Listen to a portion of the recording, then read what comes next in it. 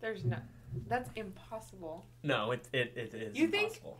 You think there's somebody that ri- has run out of words? They just Yeah, stopped plenty of people. They did Like make the elderly? Definitely people who lose their ability to speak. Well, yeah, that's true.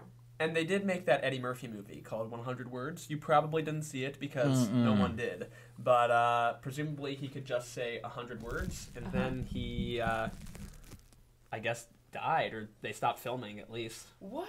Yeah, judging by how Eddie Murphy speaks, I would guess it was probably like a four to five minute movie because that guy can talk real fast, Yeah, real yeah, quick. yeah, a lot yeah, to say. I'm that. thinking Donkey from Shrek.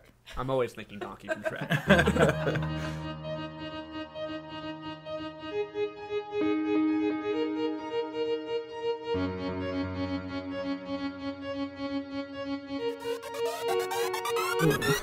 Richie Rocks.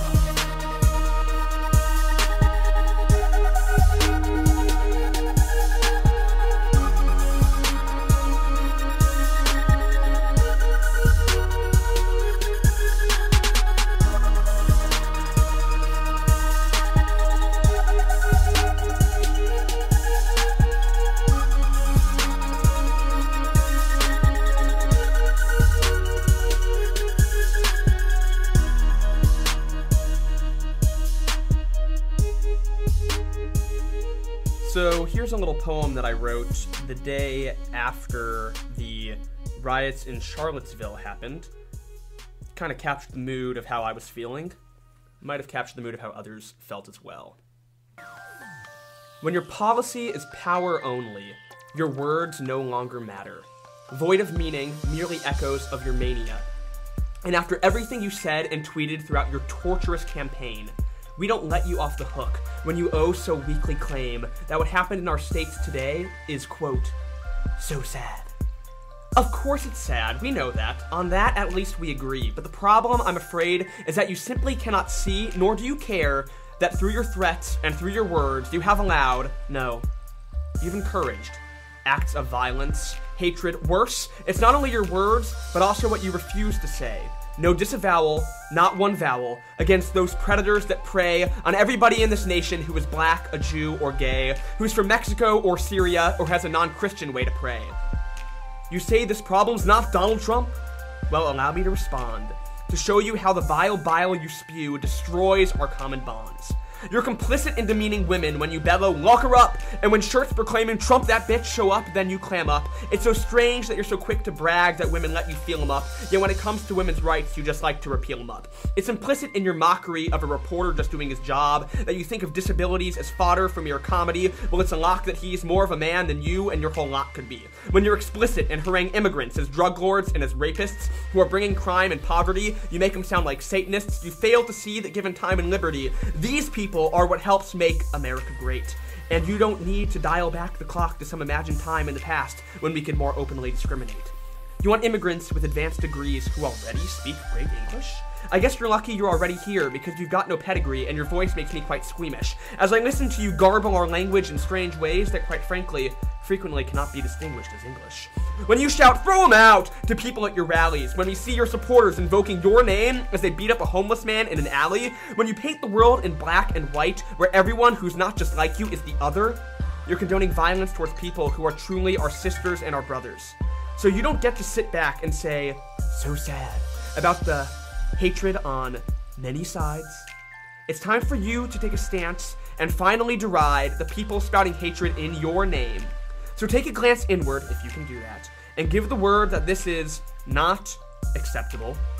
Except, of course, you won't, because you don't care. As long as they support you, you will always stare the other way, and sure, you'll offer empty platitudes and say we should unite, but your attitude's unchanged because you'll never pick a fight with anybody who adores you and who hallows your great name. You're so shallow you cannot deplore these people. What a tragic shame, and what a mystery that we are led by one so ignorant of history and one so devoid of love, one with not a single shred of genuine care for this nation or even of a single person in it who's not there to stroke his ego. And so we go spinning off in cycles of violence while the man at the podium tweets nonsense in silence.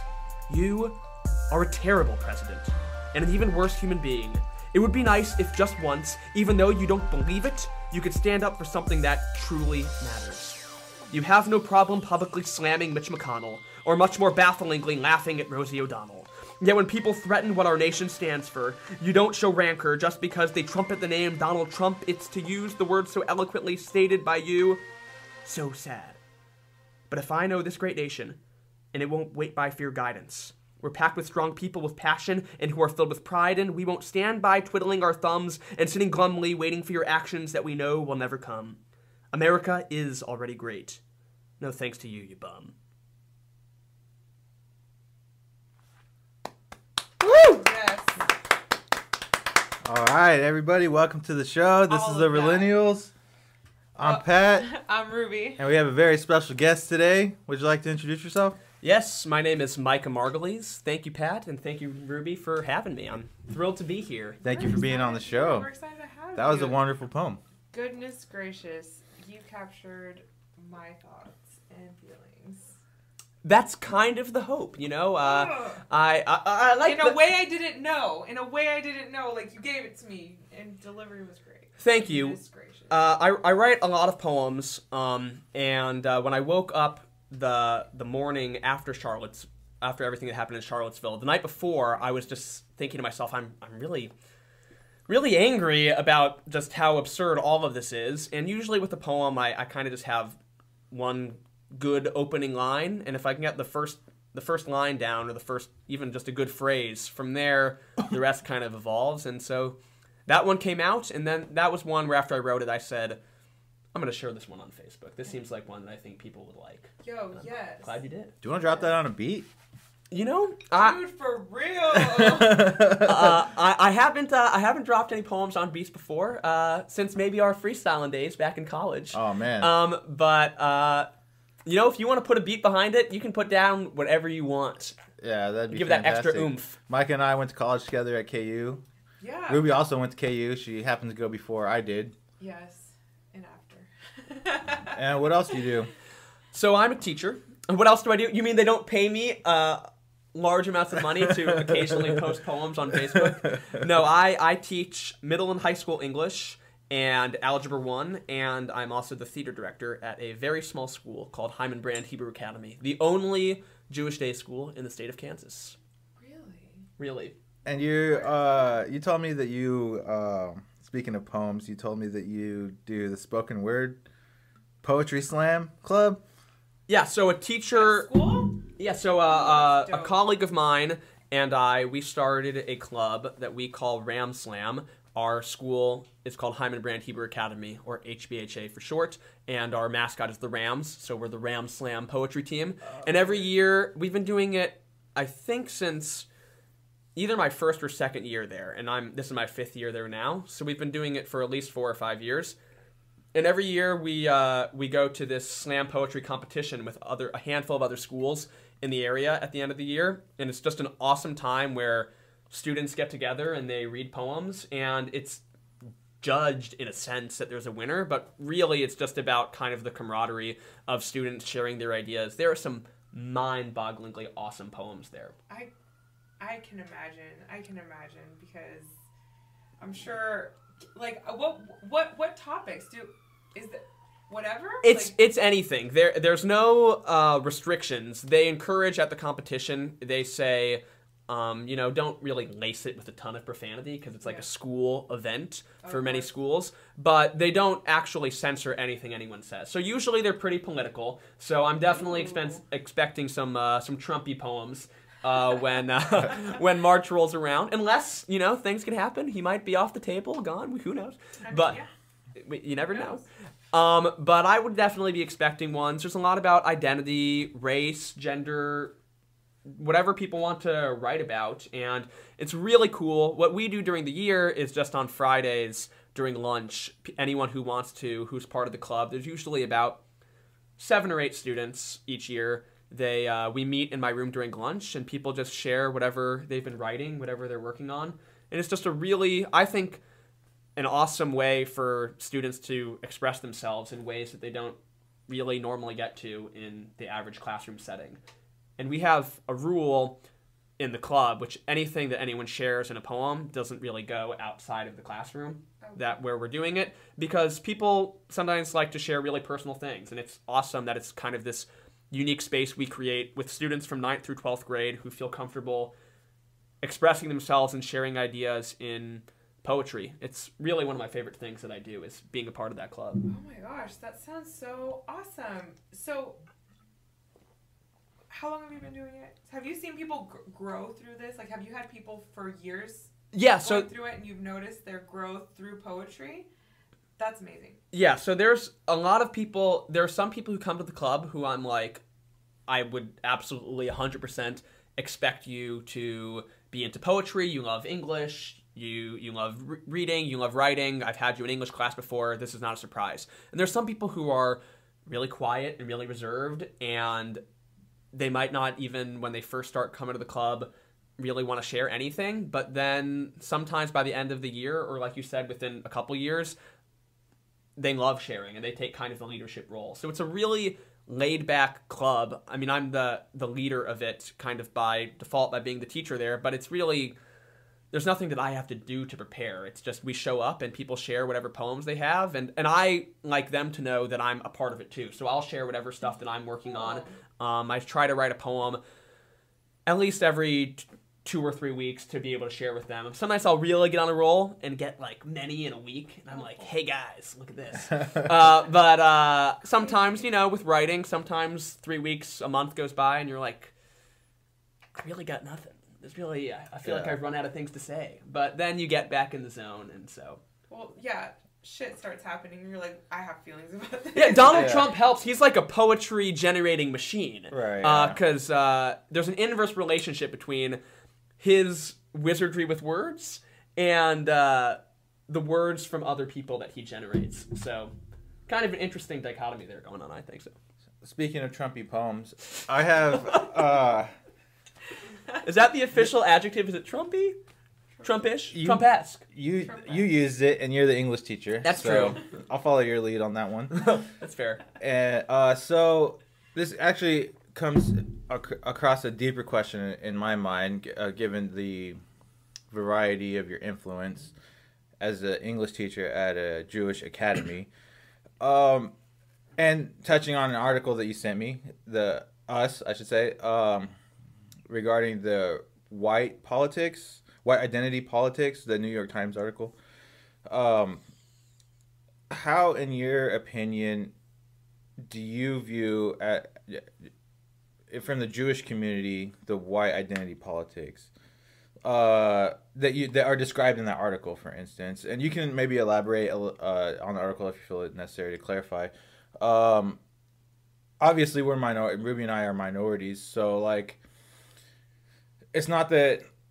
Oh, I, I guess I'm inclined to include you in that ethnicity group that Yeah. and I obviously I know that there's like different sides politically but I feel like you guys uh, or the Jewish community I should say would have like a different perspective because they're in, uh, happen to be included in the group quote unquote groups of people that are hated by those quote unquote hate groups uh, so uh, I'm curious uh, that dynamic and uh, even sp- more specifically uh, how the kids that you're saying that write Trumpy poems how they uh, their perspective on it and how you guys interact with that. I think that's an, a great question, and it's kind of so from my perspective. I can't really speak for everyone, but for me, I definitely consider myself white. I mean, that's that's no question. So you know, any racial survey, I'm I'm going to put that I'm a white person, and I don't really think of myself 98% of the time as a minority person in the United States because my Jewish identity, while it's central to who I am and is a key component in like everything I do and my job and where I went to school and most of my friends are Jewish, um, because I, I rarely, very rarely in my life have felt persecuted as a Jewish person. And then when things happen, which kind of raises that idea, it sometimes hits me and other people in our community like, whoa, we don't we don't really think of ourselves in this way of, of like, but there are people out there who hate us just because we're Jewish, just like there's people who hate people because they're black or Hispanic or whatever other minority. Um, you guys probably know there was uh, a shooting at the Jewish Community Center a couple years ago Yeah. uh, when we weren't, I was teaching there at the time. So my school, HBHA, is attached to the same building as the Jewish Community Center. So they're like separate institutions, but housed within the same building. So it was right where I work, and we weren't there because it was spring break. So there were no students there. But when we got back to school, it was obviously something that we discussed. Um, and really, the general reaction I would say from most students and from myself too was people just being shocked to a large degree because we never really think of ourselves like I can't believe there are people out there who hate us just for being Jewish. That seems to most people, I think, my age and certainly students younger than I am, it just seems like something so in the past. Like anti-Semitism seems so much like something from the 40s and not something we think about. And luckily, in America, it's it's certainly not a group that you know sees a ton of persecution. But knowing that it is out there, it does certainly raise my awareness and hopefully other people's awareness that you know this is still an issue that needs to be discussed and thought about. And you know we need to continue always doing things to combat bigotry in all forms. So okay, so do you and uh when and when you're discussing it with your kids or your students, uh, do you guys create a differentiation between how you guys view it within Judaism, or just uh, View in the what'd you say? community community in general? How what the reaction to Trump, uh, the nationalist, uh, white identity politics, or uh, or any identity politics for that matter? Well, again, first I'll speak for me before I talk about how I think maybe our school addresses it. For me, um, I think it kind of puts. I feel like I'm in a somewhat unique position in that, like being white, I feel like I'm in the dominant majority culture. You know, the people who, um, you know, are not oppressed. People who have power in society. While at the same time, being Jewish, it also gives you kind of an alternative minority perspective, thinking, oh, while at the same time, I have uh, you know, I'm part of the white dominant cultural group. I'm also part of this subgroup, and if I wanted to, I could just hide that identity. You know, I could just be, oh, not Jewish. I could go to um, any, I could go to a white supremacist rally if I wanted to, and fit right in, and no one would know. Oh, true. Um, that right, and so it kind of, you kind of have to force yourself to to say I, this is someone I, something I'm proud of. This is a part of my identity that I embrace and want to show off because unlike a, a more obvious identity like someone's skin color that there's no there's no getting around that. There's no hiding what you look like. But your religion you could change that or hide it in some way if you want. And so for me i think of it as I have a responsibility as, uh, to stand up and say this is absolutely something that is completely intolerable, bigotry in any way. And even if you're not persecuting me as a as a Jewish person or as a as a white person, you know, it, it could happen at any time, as we've seen. In terms of how our school handles it, um, you know, we I would say we are a very socially active minded group. Every year we take part in some sort of social justice project as an entire high school community. Our school is a K through 12 day school. What's an example of that? What'd you do? What was the last one you did? So here are the ones that we've done since I've been there. We have done something to raise awareness of um, medical access that people have access to on the Missouri side. Our school's on the Kansas side, but we went door to door in uh, Missouri and basically just canvass there and talk to people about healthcare access that they might have access to that they might not be aware of. We did a thing where we tried getting people to get out and vote during midterm elections. And we did one about two years ago, we did one about universal preschool education. And there was a bill being discussed uh, in Missouri about that. And so we kind of raised awareness regarding that. And last year's was really interesting was they it was about um, trying to get a a a police review board, a board to review complaints against the police department in Missouri and Kansas. Oh, okay. So it was really cool. And so our school, I was not a part of this, but there were several students who met with police officers and met with the police department and talked about getting some sort of over oversight board and committee to be able to Who would be members of that? Members of the community or the police or both? members of the community. Okay. Um, a community board because as it is now, I believe I don't want to misspeak, but I I think right now basically if someone complains to the police department about being mistreated at a traffic stop or whatever it is, it's overseen internally within the police force. So there's no sort of outside accountability, and so this would be to try to kind of raise that. Um, to change that system so that there is an outside accountability. Yeah. So our school is very much uh, a big part of what we do is taking things outside the school boundary. We're a really small school. The high school itself is fewer than 50 people. And the entire school, I know, you couldn't see that, but Pat made a very surprised look. and uh, K through 12, we're probably um, around 240, I think. Um, it fluctuates year to year. And so, but we we do try to make a large impact in the community. There's a, a Hebrew phrase which is tikkun olam, which roughly translates to repairing the world. Yep. And that is a very central aspect of Jewish identity, and it's something that we take really seriously at our school. I and it's something I take that great pride in. Oh, I wanted to ask: Is your school? Obviously, it's a Jewish academy Mm-hmm. center. Is it like religious? Like I went to a Catholic school, for instance, and I had to actually go to mass like Mm-hmm. 2 times a week, and like in the middle of the day, we would have go to a mass and do the whole thing. That was crazy.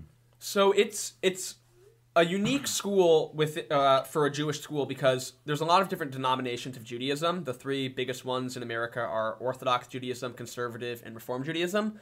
And there's a lot of Orthodox Jewish day schools in larger Jewish communities, like New York, LA, Chicago. Uh, and there's conservative Jewish day schools, and maybe some Reform ones. There's very few that are non denominational, which is what our school is, meaning Jews basically it's the Jewish day school for any Jewish child in the area who wants a Jewish education. So um, How do you prove your Judaism? Yeah.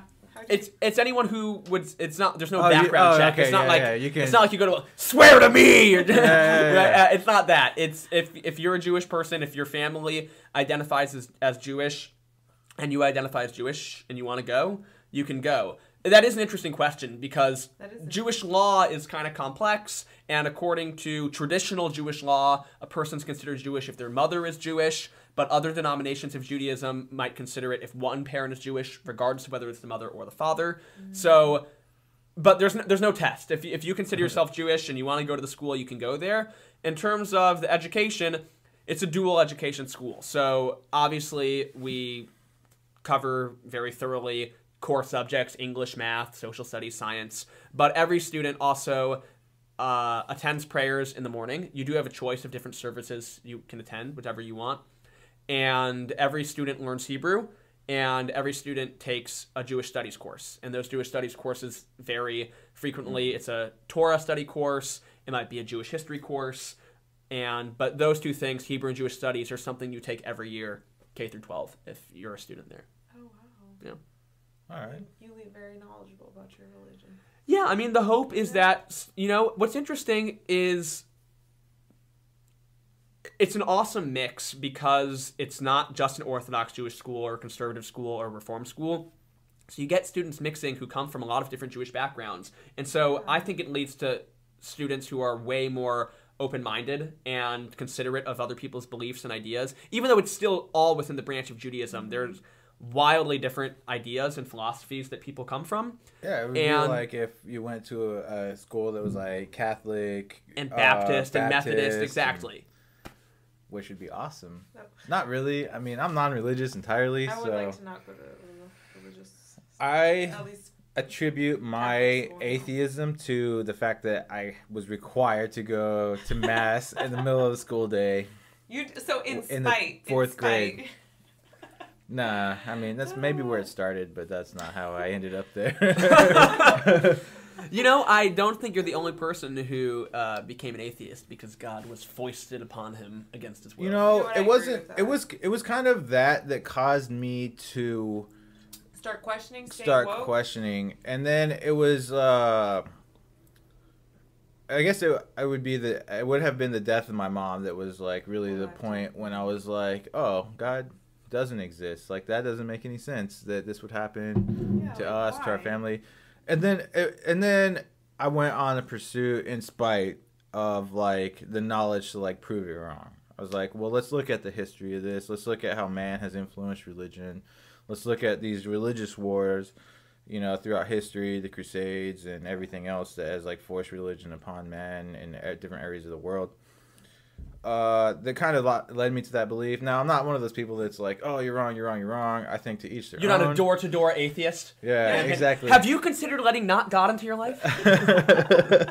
um, but yeah, it started somewhere.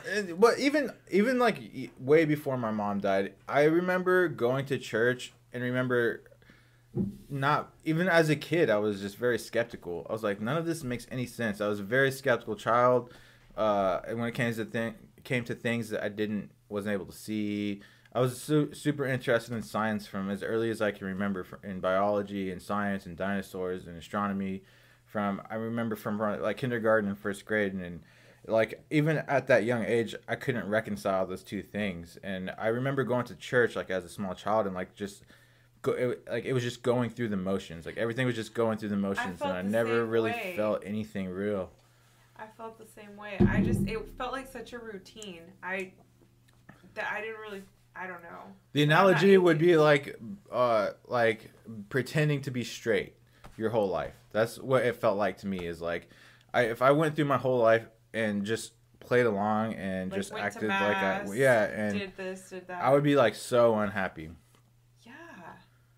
Yeah, I hear you on that. Yeah, I kind of swerved that conversation No, into I- my personal philosophy. I mean, that's I, I I think it's important for, you know, at the very Good least, I, comparison though. it is a good comparison. Yeah. and I think I'm hearing you say that is is awesome because you know I think the worst thing is people who whatever you choose to believe definitely at least go through the critical thinking process of evaluating it for yourself. Yeah. Right. Agree. Uh, I remember it's Richard Dawkins.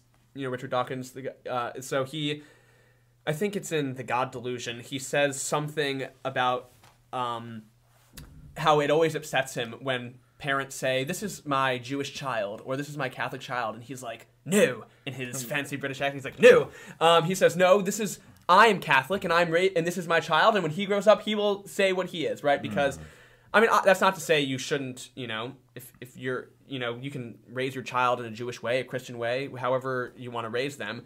But I I think his larger point is a valid one that ultimately a person should go through the thinking process themselves and determine what it is that matters to them. It is and weird what it to is they choose state that you have a whatever child. Like, it'd be more, I think, normal to say we are a Jewish family or Yeah. whatever, you know, because then you're kind of dictating how you're choosing to raise your family, but ultimately, you know, that child will eventually go on to have their own family and have their own opinions.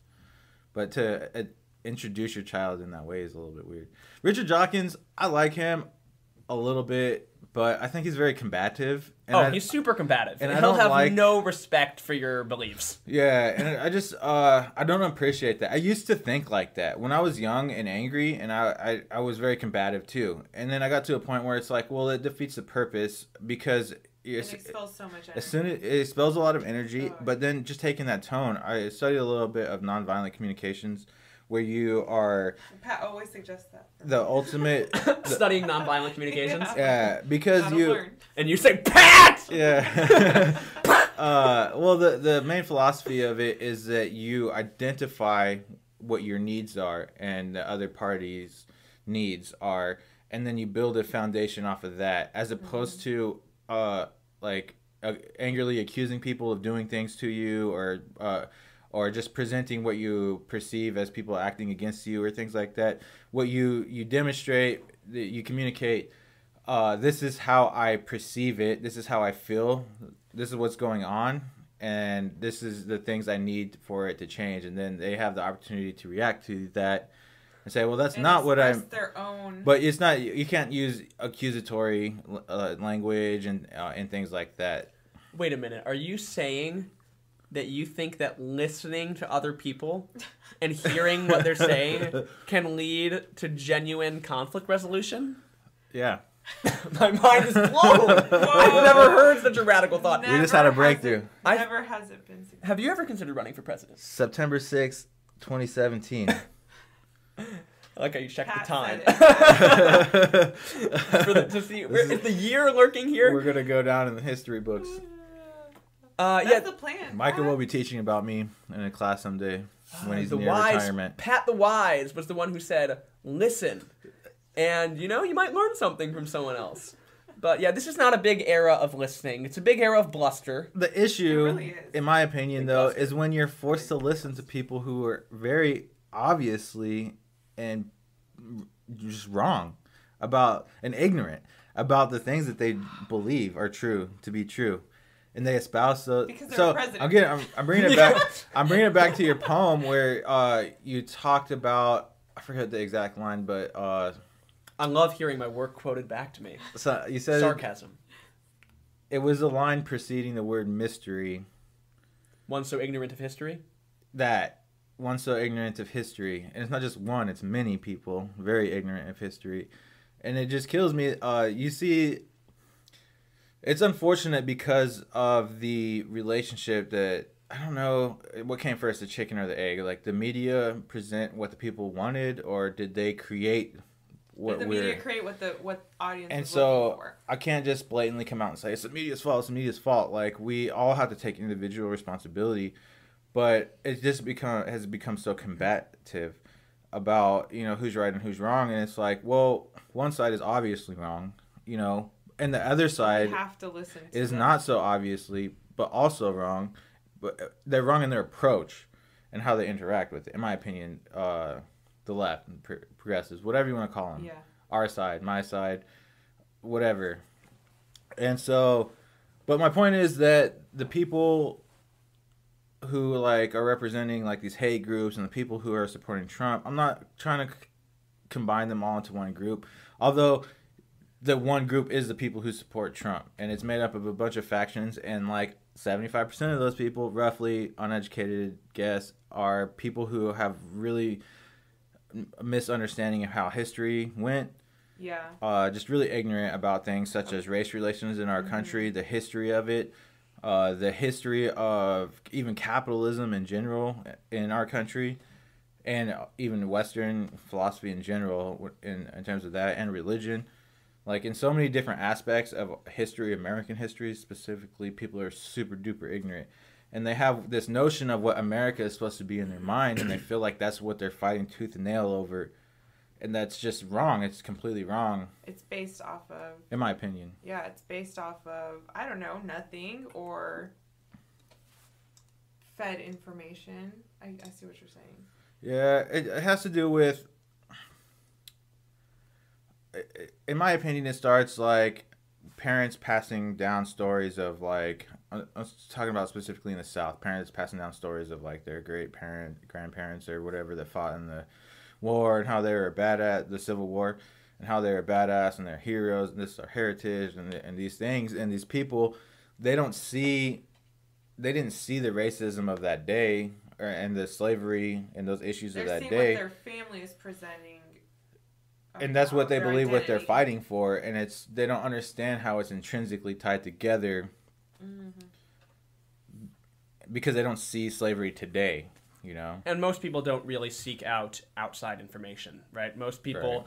and so this is something that I've been talking with a lot of people about since the election, and I really think this. I don't think that what I'm going to say is some revolutionary idea that other people haven't thought of, but I really think the only time when the only era when Donald Trump could have been elected is is now, and the reason why is because there's no kind of shared reality. I wrote a poem about this too, um, but there, there's no there's no real shared objective reality that people are experiencing together because if you're a liberal person i'm a very liberal person I, most of my news sources that i read are going to be very liberal right? I, unless i seek it out right? Facebook has seen what i click on so they're feeding me articles from the new york times. They're feeding Right. me articles you know from slate. They're feeding me articles from news sources that i seek out and that i look at. Um, if you're a conservative person it's going to reinforce that. There was some article that I read about some guy who, just as an experiment to see how Facebook's algorithm worked, he started just liking very only right wing pages, so right wing political figures and news sources, and it's and then he looked at how it transformed what things it would advertise to him. and it was obviously got more and more conservative. It's just constantly reinforcing your own beliefs. So unless you actively take a way of saying, hold on, I'm going to read what some other source says that is not necessarily going to just constantly reconfirm my own beliefs, you're just going to be perpetually within this same cycle. And that's why people are like, I can't believe that other people believe this because Right. everything that I read is saying this. And that's on both sides. Um, and of course, me, Oh, yeah. you know, I'm going to say what someone on the right's going to say. I'm going to say, yes, but what I'm reading is right.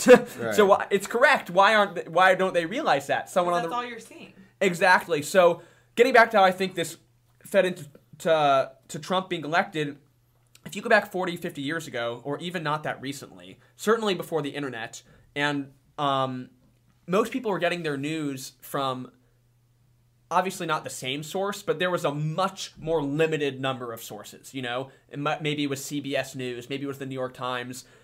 And so there was at least some sort of shared communal experience of what people were getting. Now I could read the news voraciously, and someone else could read the news voraciously, and we might not read any things that are the same, Right. and they might be completely politically different. And so it leads to kind of this, I feel, this fracture where, you know, if if there was more shared news sources and more, as I would say it, people like sharing actual reality together and reading things that were not wildly biased maybe on other sides i don't think his election would have happened that's just kind of my personal Yeah. thought on it that the that social media kind of enabled his election to happen is kind of my take on the situation Yeah, because even well, even back then, where you're alluding to about 50, 60 years ago or whatever, most of the news was on the same side. I mean, like relative to today, where I like we could you couldn't even talk in the 50s. You couldn't even talk openly about like being a communist without potentially getting thrown in jail. Yeah. oh my goodness You know? that is Uh, and so like the fact that I can op- like the fact that I can openly say that I'm a democratic socialist and an atheist in the same sentence. Get out of here, on commie. podcast, I'd be thrown and I'm brown. Woo, I'd be woo, thrown woo, in jail woo, woo. so fucking quick. we interrupt back in this the 50s. podcast for pat's arrest And you have a thick beard. Have you seen that? Uh, there's a movie with Bryan Cranston, who's uh, he's a Hollywood writer. I believe it's it's called trumbo Trumbo. i have not seen it but i know Uh, it. it's actually pretty good, Yeah. and it's about it addresses that. And he's, I mean, he's a wealthy white man. Is he Jewish? In the, I can't remember. i his really don't know a lot is about him right he was a writer during the cold war Uh, yeah, yeah, yeah, and um, I can't remember if his character was Jewish or not, but he was an outspoken communist, and they like blacklisted him. Uh, companies that like they would sit with him and meet head executive producers of these production companies because he was like a uh, like a TV show writer or whatever, like entertainment writer, and uh, they would sit with him in meetings and like, "We love you, we love your stuff, but we can't like publicly support you because you talk about things like socialism and you don't like the government and you don't like, Yeah, you know, you're anti-American, all this we stuff." can't be about that because uh, and that was literally the climate and it's like so it's it's got me like okay everyone was on the same page for the longest time but it was like a false sense almost because it's almost like north korea like back then because you couldn't openly talk about you couldn't openly uh expose right your views yeah. if you didn't agree with the government, right? And so they would make you feel some certain way, or they would potentially throw you in jail. And he was a very, su- very like wealthy, successful writer, you know. Yeah, now you can say whatever you want. Not only can you say whatever you want, whatever But you I say, also the, the crazier the crazier of a thing that you say, the the more you know traction you're going to get online, and the more no matter how crazy of a thing you say, there are people lining up to follow your belief, no matter no matter what it is. Um, you know, it's it's the more outrageous you can be, the you know, it's it's almost like a like a real like a big re, like news has kind of turned into a reality show in a in a very large sense. Even I was It is reality. It is reality. It is reality. But it's, a fake reality it's show. hella twisted, like hella twisted to meet some sort of fucking agenda. By who, guys? Who? who has the agenda? I was listening to uh, a CNN panel. Uh, it, it was maybe like five or six people talking um, recently. It was just a couple days ago, and it started off for like two minutes, kind of calm, and then within th- three or four minutes into it, they were just shouting at each other. And at one point, the moderator was just like, Um, I think our viewers at home would prefer it if you guys talked one at a time so they could hear what you were saying. And I was like, actually, I think people are kind of hoping to see this, but uh, but we can pretend like we want to hear the policy discussion. They, they remember when the election happened, they they came out, some uh, organization came out and they actually counted how much time was spent discussing policy, covering policy by the major news networks, and even networks that you think of as respectable networks like CNN. They they spent like they were like we spent 22 minutes covering Trump's foreign policy in eight months of political Yeah. coverage, and we it's like okay Damn, well in eight hmm. months. Yeah, it's, it's complete reality TV shows, and it's I I don't know who to blame because it's like I feel like people should know. It's like they don't know to take res- personal responsibility for it. It's like I didn't know uh, until I went to college. When I w- in my first couple years of college, when I would raise my hand and, and I would say some crazy bullshit that I thought was true, and then my professors would be like, "That's absolutely wrong. You need to go and fact check that right now. Read this, read this, read that, and then come back to me and explain to me, what, you know, what you found."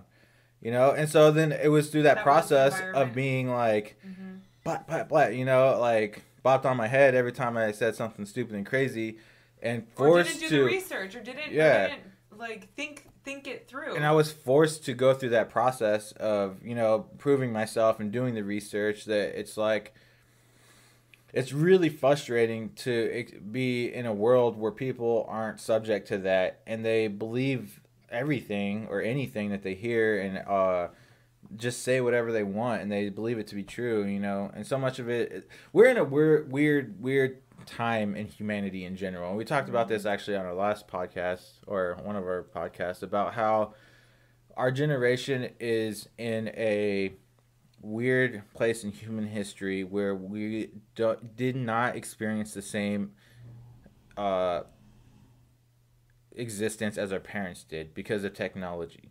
So we have a weird way, like we like we can't, they can't relate to us, and we can't relate to them. Like the example that I used was like the Egyptians. Like a thousand years would go by, and like there would be hardly a change in technology.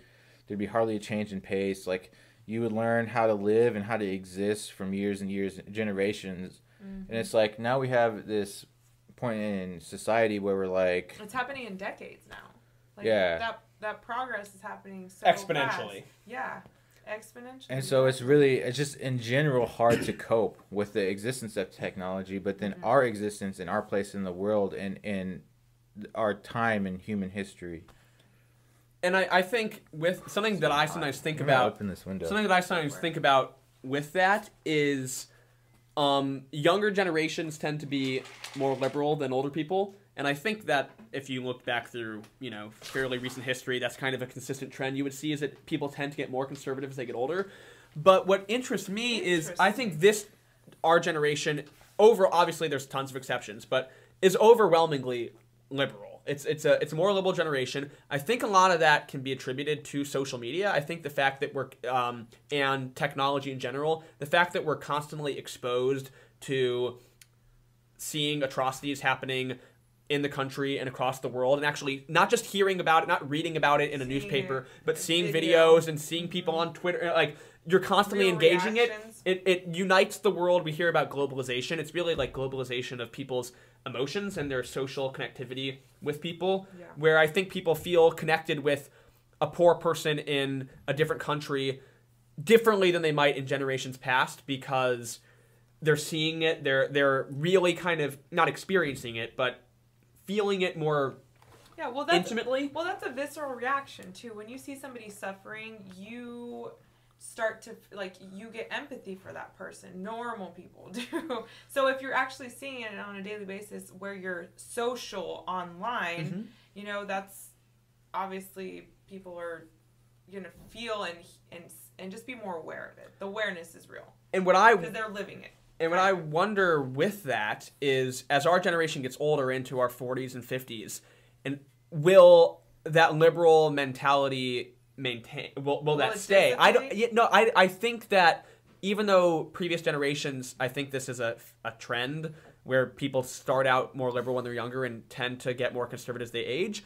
I really think that it's possible that with the increase of technology, I think that's going to have an impact on people's liberal attitudes. And so it will be interesting to see if, like, you know, 20, 30 years from now, people are overwhelmingly, at least socially, liberal. I don't think it has a huge impact on people's, like, fiscal views necessarily. But I, I think it'll be an interesting thing to look at down the line. I mean, I definitely think and hope, but I, I, I have a strong feeling, you know, that 20 years from now, we'll look back on an issue like gay marriage and in the same way that people look at like an interracial marriage where there might be the occasional person who's like what? But like everyone else is like are like are you serious this is actually You're like this is you would normal. yeah we you would see this all it not only is it not want an issue uh sure I'll, I'll have one. Not only is it not an issue but it's like what what were you ever upset about? Well how could you have cared at all about this? Like it seems so commonplace. And so you know maybe that's me being too optimistic about how people's views will evolve going forward. Yeah. but i definitely think it's possible because like you said things obviously things always change generation from one generation to the next but technology makes things change exponentially fast so and it's hard to cope with that. It's hard to cope with. I used that. to believe that what you were saying, Uh oh. almost to the T. But then Donald Trump was elected, and then now I'm more inclined to believe in the uh, idiocracy theory. Good movie Uh, i'm assuming you're referring to the, the movie yeah, yes go on What is the no, the the same as the movie? the the medieval Renaissance novel. um, Definitely read that like. where uh, it ha- and it has to deal with. I'm not just pulling this theory out of my ass. I mean, that movie is a comedy, whatever, but there is something to the. I mean, it's based off. It's something to the effect of uh, more highly educated people have less kids. So there's uh, economic statistic there, and people who are less educated have more kids Yeah. right relative and uh so i feel like if what is happening now is allowed to continue where people feel more comfortable being ignorant and they're basically taking ownership and pride of their ignorance and i'm not using ignorance the way that people just Like i'm using the literal definition of ignorance not how just people throw it Mhm. around Yeah, yeah, yeah. uh, then there will continue to be uh, generations of ignorance, and especially effectively, it will create like ignorance pride. You know, essentially, like there in like thirty No, years, that- there's a gonna big- be like true. There's a huge anti-intellectualism strain in society where I mean where people say, you know, they take pride in like disdaining ex oh that's just what the elite experts say. It's like that's what scientists say about the climate. It's like, well, yeah, who else should we listen to about the weather and climate? Yeah. Shouldn't we I I don't know anything. Shouldn't I listen to a person whose job is researching fossil fuels impact on the climate? Yeah. Why would I take For pride in being like "Uh, my opinion's just as valid as his? uh, that, and that's my point is uh that and, and so maybe it's just my perception through the media which obvious which we already admitted is a flawed reality It that is they present. But if that is truly becoming a, uh, more prevalent in society, then in given that what we know about economics, the economics of people, uh, and population statistics, wouldn't that trend tend to increase in the long run? It's a good question. I don't know. Yeah, I guess we're gonna just have to encourage smart people to start reproducing. yeah. I mean, I don't have any kids. I mean, you don't have any Do kids, you, do you think overpopulation is like overpopulation is a real thing too? but people are out there having people- kids. yeah, you know what I'm people saying? are Just out there because having Pat and I aren't reproducing doesn't mean that no one is. Uh, it's just, I mean, I'm just talking about trends, and um, I'm not an expert by any means on population studies or anything like that. I did study some, a few things here and there in college. I mean, I studied uh, economics and international studies, which I have to sometimes remind people because I don't want people to think I'm like completely ignorant when I'm talking about these things. Yeah, they're like what what is Disclaimer: why is Pat has knowledge. Yeah. um, But it's just it's just an interesting uh interesting thing that's going on. Um, we try not to be too political on the show. we try not but- to be, but it's so hard not to. It's so hard not to because it's It's a big. infuriating sometimes. Yeah. Like I can talk about things that make me angry. There's a lot of things going on. You guys want another poem? Yep, let's do it. It's a sh- this is a much shorter one. This is not political. This is um. I just thought of this. I had to scroll back up late on. now. You already set the tone. No, no, no. It's, Yep, it's not. yep, yep. This is not a political one. This was just when we were talking about social media and made me think of a poem. I wrote this sometime last year. To be honest, I have not looked at it um, in probably six, seven months. So it'll be kind of new to me too. But when you said something about social media, it made me think of this, and I think it's kind of interesting. So it's called The Social Network. Here it goes. Well, the life that we live in the limelight's a lie. We're in fear, yet we live like we've nothing to hide. Tucked behind likes and loves, our lives coddled and mollified. Like there's no pain, no sadness, no heartache inside. I log onto Facebook. See nothing but birthdays, surprises, celebrations, baby boys, grand vacations. No vacancies open for vagrancy, agency left by the wayside, as we're forced to put forth alive, a life that's alive inside. Let me lay it out for you simply. We live in a society surrounded by friends, and yet it's easier than ever to feel wholly alone. As we're hounded by photos that never do end, constantly bombarded by the joys that aren't our own, joy that others are feeling, while we feel our lives reeling, we wonder how is everyone doing so well? How does everyone have such wonderful stories to tell? But look deeper, look deeper. Maybe he's vacationing to wipe away his sorrows. Maybe tonight's smile belies a tragic tomorrow. Maybe their marital bliss is a sham. Maybe her boasts about joy are a scam. Maybe the constantly updated statuses happen because he's afraid that if others don't acknowledge his actions, then maybe they don't really matter. Maybe that self confidence is just false bravado. Maybe she cried through the happy filters of Colorado. Maybe the lives that are processed and shown are no more organic than the quarter pounder with cheese that we shove down our throat. We have thousands of friends, most unseen, some unknown, and merely a few who we ever hear on the phone, let alone see in person and let into our home. Social media is social in the sense that we are constantly on display, so we play along, but the song that we sing may not always reflect the somber note that we're sounding inside. So why must we hide our true feelings and show that everything's peachy and dandy? Sure, that beach was sandy, but you know what? I cried, damn it! That's right, I cried on my vacation. We are more than our photos. We are more than our likes. We are more than our Snapchats and our sunrising hikes. We are more than a status and more than a tweet. Hell, we have billions of particles just in our feet. So to think that it's possible to somehow discern all that I'm feeling and all that I am from a quick little snapshot's a ridiculous sham. Sure, we show what we want, but it's crucial to know that deep down below, nobody, that's right, nobody, has really gotten it all figured out. So don't think that your life is passing you by, and know that the limelight we see is just a lie. That the truth that we all bury deep down inside lies there somewhere offline where it matters, somewhere in the complex web of our lives. Oh man, that was great. Damn. Fantastic. Well, thanks. It's See, that one's you're apolitical. spitting- You're you need to put these on a beat, yo. I know, right? We can do that. That's what Pat's for. He's the producer. Oh, let's do it. Um, yeah, I, I mean. I mean, want to help with that co co-producer. um, I mean, that's just one, one that I wrote several. I, I'm trying to remember what prompted it. I, I think one day I was just like scrolling through Facebook, and when you scroll through Facebook, it um, it's so stun. You, I, I think everyone has this feeling when you look through Facebook. You're like, how does everyone's life kick so much ass? Like everyone is like Yeah. like having the time of their lives, and they're out with their girlfriends, and they're out and they're at the party time, and it's all these amazing things are happening Vacations and you're sitting there like. I'm just working and like sometimes I'm bored and what's going on and I'm Yeah. here on Facebook scrolling through them when literally every other person is doing the same thing they're scrolling Yeah. and they're going how come everyone else's life is awesome so I I People do it for the gram. Like people do things specifically for social media now. It's a driving force behind people's actions. It's changing how people actually act. Yeah, it's Fucked crazy. up. I just read an article recently about a kid. He's a basketball player who committed suicide. Uh, and I like clicked on his Twitter, Yeah. and it was like all like happy-go-lucky posts Yeah. and stuff. Like up until like the day before he killed himself. What? right there, I mean and because you know unless That is sad. some people put themselves out there, you know, and are, and are kind of use social media as like a way. Some people use it that way too, to like vent their, um, you know, issues Yeah. that they're having or talk openly about themselves. But you know, ninety five percent of people, they're putting forth what they want people to see. Yeah. And uh, there's a line I wrote in the poem that I really think about a lot, which is.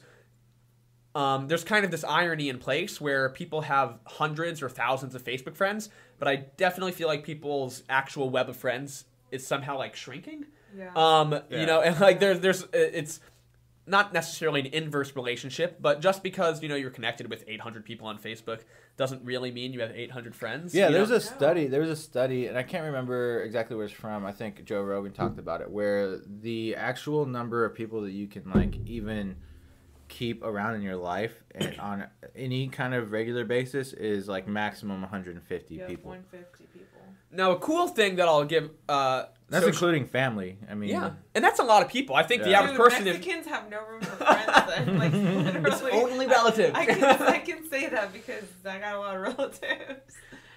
um, a good thing that I'll give social media and Facebook a shout out for is it can keep people connected um, kind of casually for long periods of time. I'll use an example. Pat, we hadn't really caught up much in, in a few years, Right, right? Pat and I, we lived together at college, and it's kind of a fun story I can share about how we ended up living together. I think it's funny. I think it's great. I can. I did want to ask you uh, if you had a, a funny story about me that you remember from college. Oh my god. Yeah, I, I give me a second to think about it, but there there we had some great times.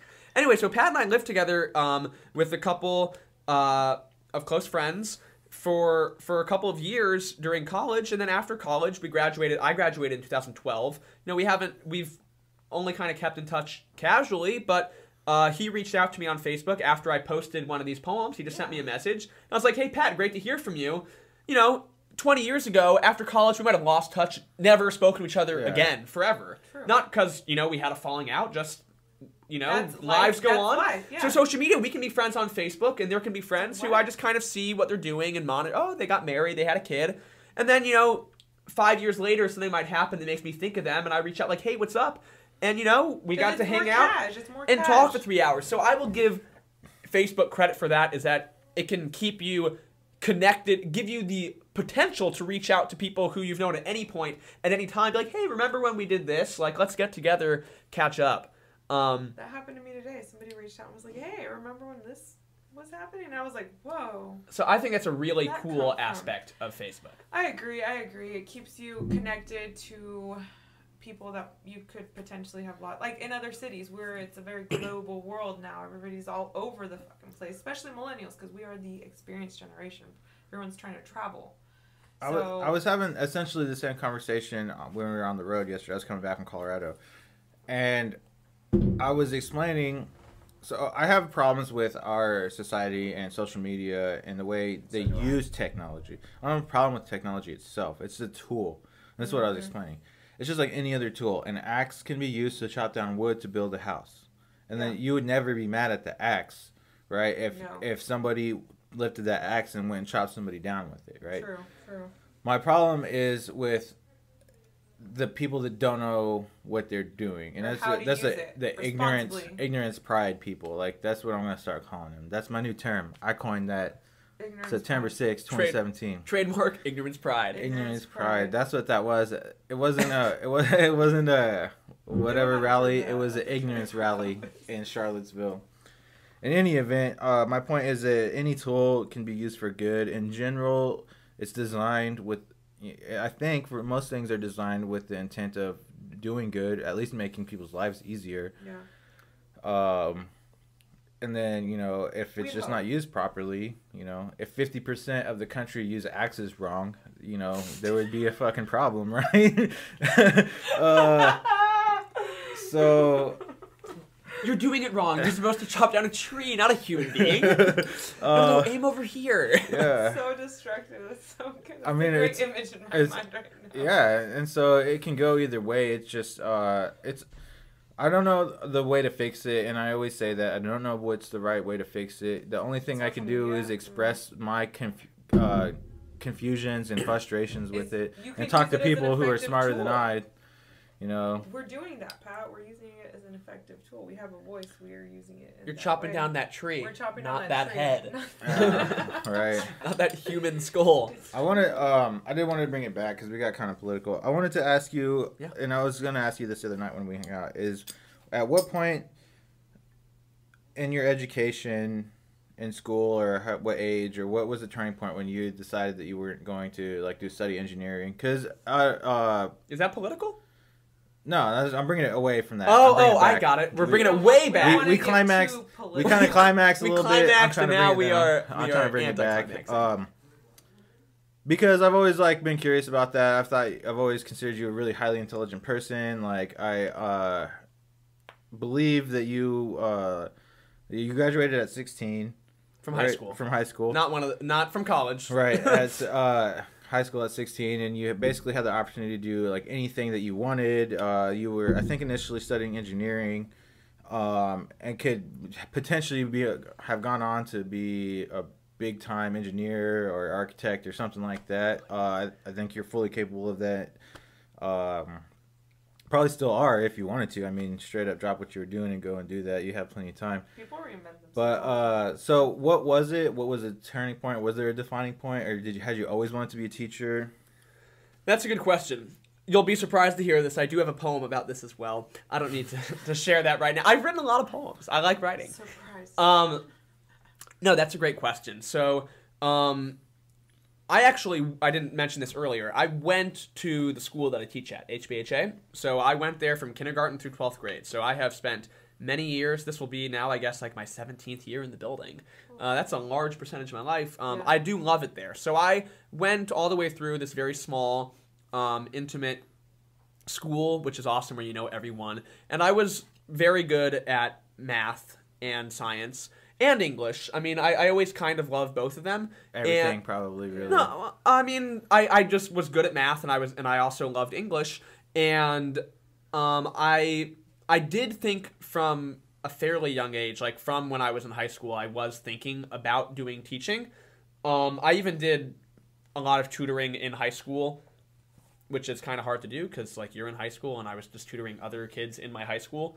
But I started do, doing tutoring back then. The reason I started doing engineering in the first place, which is when I started at KU, I was in their school of engineering. It wasn't really because of passion. They offered me a scholarship to do the school of engineering. I, I think based on like my ACT math score, and I decided I would give it a try. But it wasn't really my passion, and uh, I was in it for I think only the first semester I was there, and then I told my mom I was like, um, I really want to apply to the School of Education. I think I want to teach English, and my family is a very Englishy family. My dad is a writer. He's a reporter. He's uh, right now he's the health editor for KCUR, and before he was he did that he uh, wrote for the Kansas City Star for maybe like 15 years somewhere around there so he, he's a reporter and my mom she was an english major her job is she's a nurse but sh we're, we're we're a very big reading family and i've just always loved books and i've always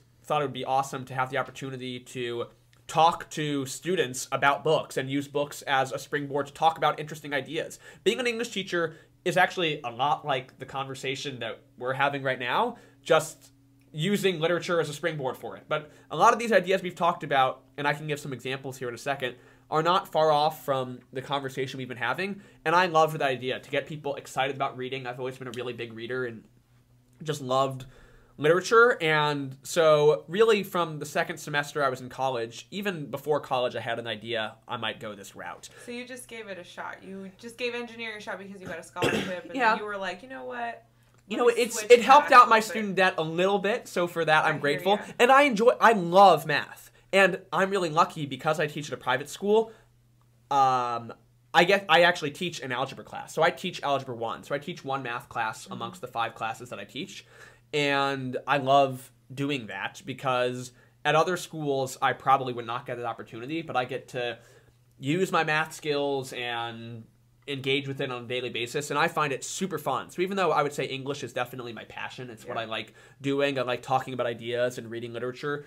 I do love math so i'm really in a great situation where i get to use both sides of that each day which is really fun That's awesome. Yeah. Well, I mean that probably adds a little spice, like a little variety. 'cause very if you're spicy. Doing, yeah, if you're if you're doing the same thing all day long, it's probably or not. You know, like if you get in too much of a routine of the same subject. I know I I like I like to read about everything. I most of the time have like three or four books in rotation, Mhm. different subjects. like all the time. crops Yeah, just like different things. So, just like crops. So that's pretty top. That's pretty awesome. I consider. I like that because I consider literature essentially the the religion of the human condition, uh-huh. essentially, and I, I It's That's a good way. say Ooh, that man, Pat, you are dropping all sorts of knowledge that when we're English- teaching about Pat the Wise years from now, what, what was the first thing you? Oh, the nonviolent. Yeah. What was that phrase That's you not coined? me. Nonviolent communication is not me. That That's is a Pat. philosophy. That is That's an absolute- established that is philosophy. Pat. I want to say it's Robert Marshall or Marshall Robert or some iteration Somebody of those two- names. I'm hearing first Pat. Names. So you Uh, did that. You coined I'm gonna something I'll post a link to that. um, but what I was saying is that uh, it's inter- You're almost you're essentially a preacher of the religion of the human condition, Yeah. and it's interesting to me. Uh, it always has been in English uh, in literature courses, is that uh, everything, especially when you're young in high school and college age, and you're experiencing all these emotions, they're new, the, all these opinions, political and otherwise, mm-hmm. and then you read this literature that's you know thousands of years old, a thousand years old, hundreds of years old, and you realize that you're so insignificant compared to human history. People have been experiencing these types of problems for hundreds and thousands of years, you know Even worse things too. and worse and it's just like you read it and you're like oh my god like how do you even like put this into context into modern life and that's what your job is to talk Yeah. about that and i i uh it's such an admirable thing So let me give an It ex- really. Let me give an example. Like with my, so I have a class that it's a combination of juniors and seniors. So a junior senior English class, and we're getting ready to read our first book of the year, and it's going to be 1984, which I saw you had on a prominent display Yes, in the hallway there. Um, and right, I mean, what are the things that we've been talking about and reading about in order to prepare for it? So the other day we read two different articles about um, the NSA and Edward Snowden's uh, revelations from several years ago because the book deals with a government that has total oversight over everything. We are going to watch. You know how um, on Facebook uh, Trump revealed the Trump News Network, the, the real the real news, where it's just like his daughter-in-law being like, "Here's the real news." is this new? Donald- did this just I happen did not know. Oh, are you not aware of this? Yeah, no. Okay, so after i've okay, been like mia for the past like four days straight it's haven't four days. news. It's probably like maybe a month ago this Oh, happened. yeah, so yeah, yeah, yeah. um, you might remember right before the election, Trump said something to the effect of if, if he lost, he was planning on launching like a news network called like Trump TV. i remember that yeah Okay.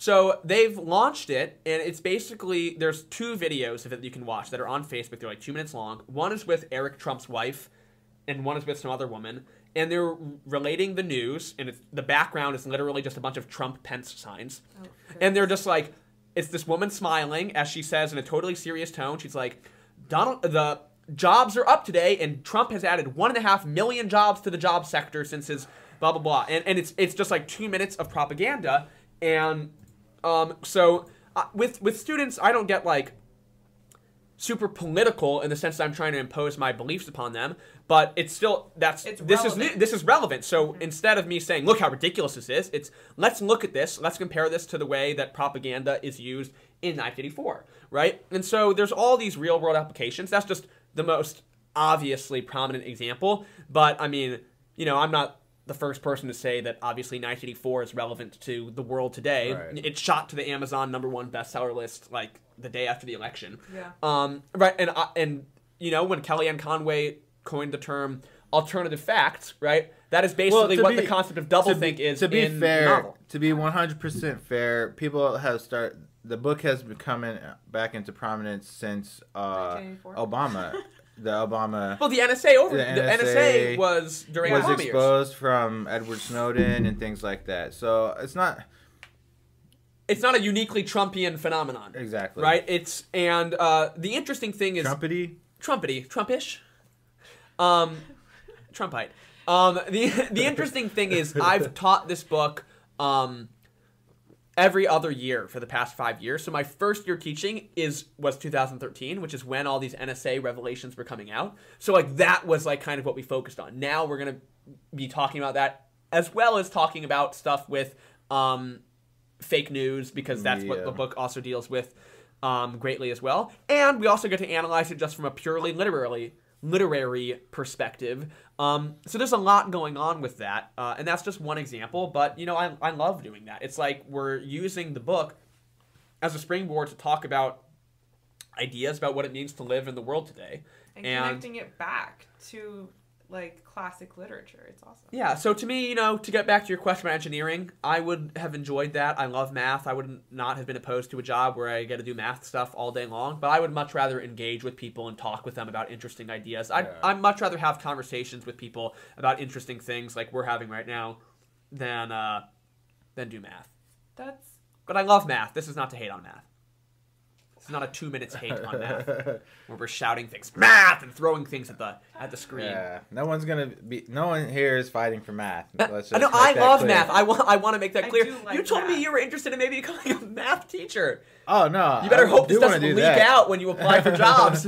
Here's Uh, guy. He doesn't even fight for math. I don't fight for math. I do enjoy math. Um, like Was that math or math? Math. Math. or oh, math. math, math, You look mathematics. so alarmed. Mathematics. No, well, I didn't. Under, I I thought you said the same thing twice, so I was a little bit confused, and then I realized what you were trying to say. Methamphetamines. Yes, yeah, and then I got it. Um, I do want to be a teacher. I it's realize it's wanna a super teacher. fun profession. Um, I enjoy it. It's it's uh you know there's there's a lot of work, um, but I I love it. And again, one of the great things about the school where I'm at, with it being small, is we have small class sizes, so we get to have a lot of um, in-depth conversations, which is awesome. You know, most our average class size is is probably somewhere between like ten to fifteen kids in a class, which compared with a, pro- a public school, which is like thirty Do kids. you think you'll ever go on and teach at the college level?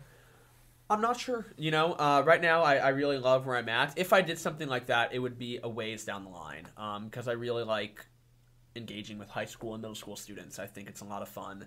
Um, it's possible in the future. You know, I'm not like super old, so uh, and I love teaching, so I envision doing it for a long time. So I'll just kind of see what where where that leads me. But I definitely envision being staying in school for for quite a while, in the middle and high school level for a while.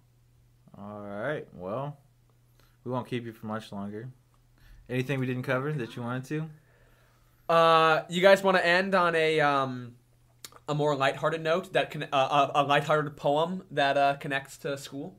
Yeah, let's do it. Yes. All right, let me let me pull it up uh, real fast. Keep talking for a second while I grab this. Um, Buy his time. Buy his time. Oh my gosh! Oh my gosh! You know, he's ta- Mike is talking about how he went to um, the engineering school for his first semester and then wanted to sw- switch after the semester.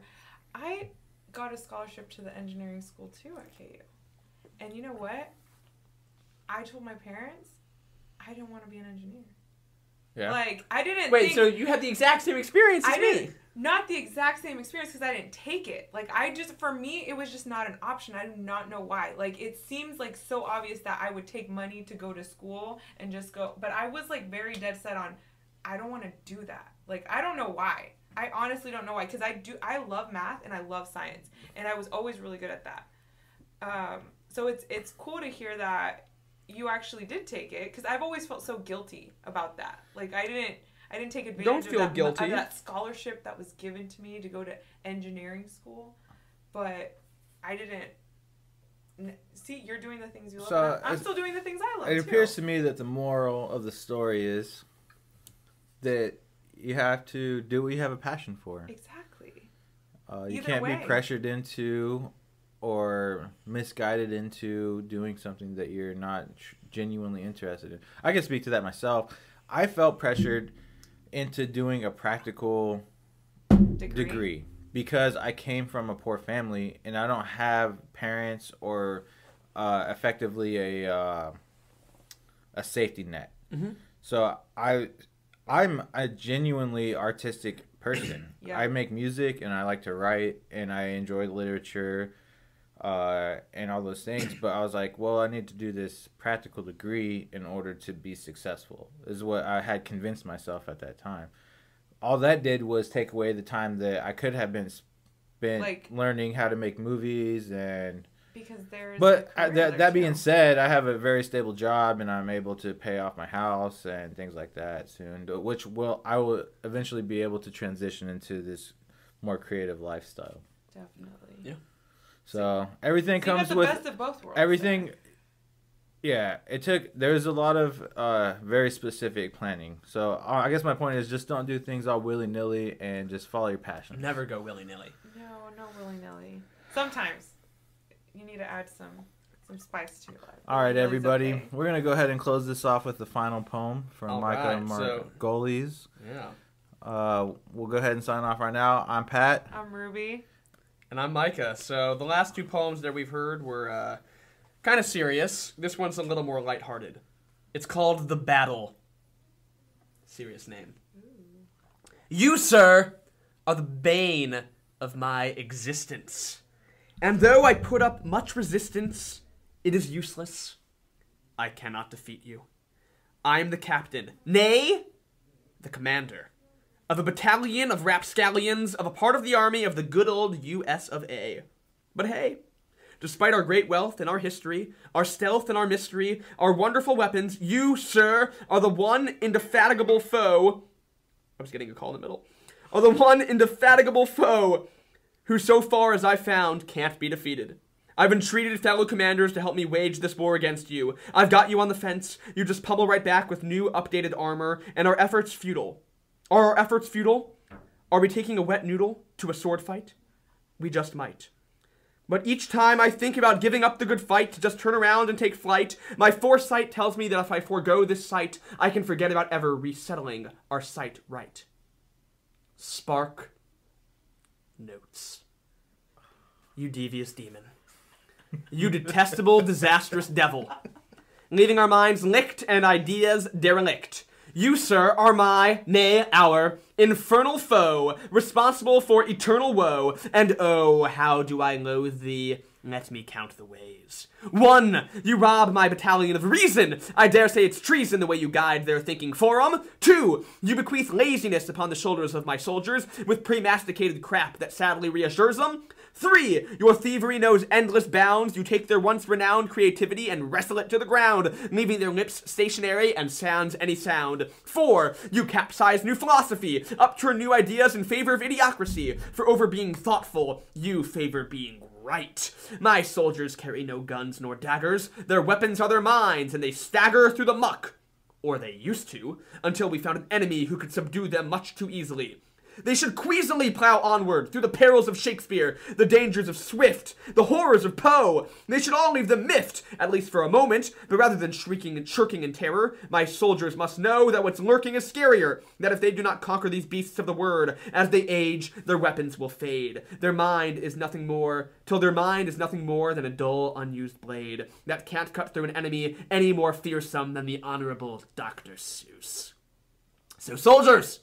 Heed my rallying cry, and repeat after me. I will not go gently into that good night.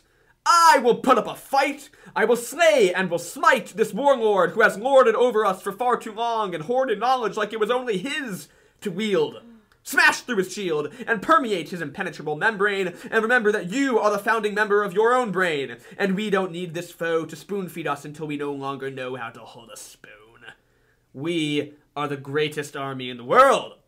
So let us not let that salacious Sir Sparknote act supercilious and make us look super silly. We have the weapons. We have the soldiers. We're armed with the knowledge and the books we're prepared for. Now let's go out there and win us the damn war. That's it. That's all I have for you guys. All right, thanks everybody for tuning in. Check us out on uh, Facebook and YouTube and SoundCloud. Remember to ask us for advice. Hit us up, therealennials at gmail.com. We want to do an advice episode real bad. Give us something interesting. Seriously, a challenge. All right, Wise thanks words. everybody. Bye. Bye. Thanks, guys.